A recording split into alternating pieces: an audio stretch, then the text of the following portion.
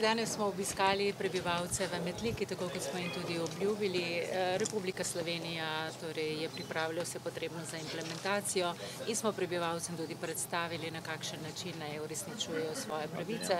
Povedali smo jim, da bo njihova kontaktna točka upravna enota, da bodo tudi dobili eh, navodila, brošure, če je potrebno za to, da lažje uveljavijo pravice. Na tem območju smo se najbolj pogovarjali o neurejenem stanju upisov v zemljiško knjigo. Vemo, da drage tega nimajo urejenega, tako da smo se tudi dogovorili, da bo geodetska uprava skupaj z strokovnjaki za to področje prišli med prebivalce in jim predstavili, kje neposredno bo potekala državna meja, ko bo evidentirana in pa tudi, da jim pomagajo pri teh upisih v zemljiško knjigo, ki pa bodo sicer po uradni dolžnosti se vsa upeljala.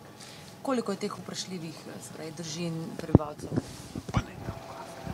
V Dragah v bistvu tukaj ni bilo zemljiške knjige, imamo katastar, ne pa zemljiško knjigo, tako da bo potrebno v celoti nastaviti zemljiško knjigo za to območje. Koliko ljudi se bo preselilo z Brezovice? Torej, pogovarjali smo se tudi, to je drugo vprašanje, o preselitvah. Tukaj imamo tudi eno kmetijo, ki izraža interes za preselitev. Torej, za kmetijo smo že v zakonu uredili možnost, da uh, občina v OPN-ju uredi preselitev kmetije. Drugače je pa pet uh, družin izrazilo, trije so z tega otoka Lokano, ki je bil uh, del hrvaškega ozemlja, uh, tako da tudi te postopki bodo potem lahko takoj po evidentiranju državne meje v teku.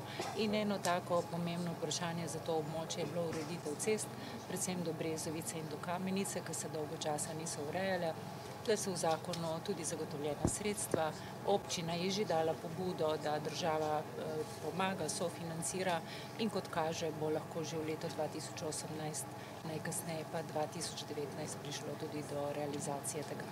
Kako pa je z lastništvom? Ne? Se pravi, če ljudje zapustijo svoje že obstoječe domove in jim država preskrbi torej nov dom, kako je z lastništvom? Torej, ostajajo lastniki svojih prejšnjih nepremičnin ali ne? Da, torej ostajajo lastniki svojih nepremičnin, seveda, če lahko so upravičeni tudi najemniki, v tem primeru itek, ostanejo, so pa ta finančna pomoč, ta sredstva niso v taki višini, da bi v celoti zagotovila nepremičnino, vedno bo potrebna lastna participacija, je pa seveda to odvisno od okolja do okolja.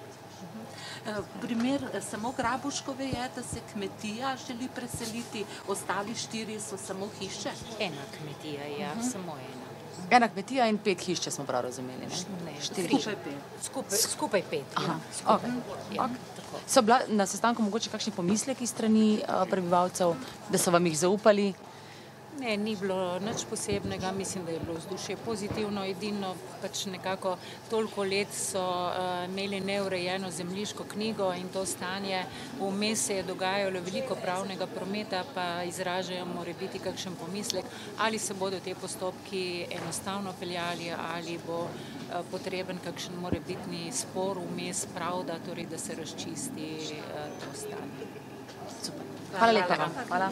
Finančna, uh, koliko dobijo potem te, ko se želijo preseliti? To 100 tisoč? Eh, Za štiri člansko družino je nekaj manj, se pravi 98 tisoč pa neki, drugače je pa za eno osebo je 45 tisoč 300 in potem za vsako nadaljno osebo je 15 tisoč 300.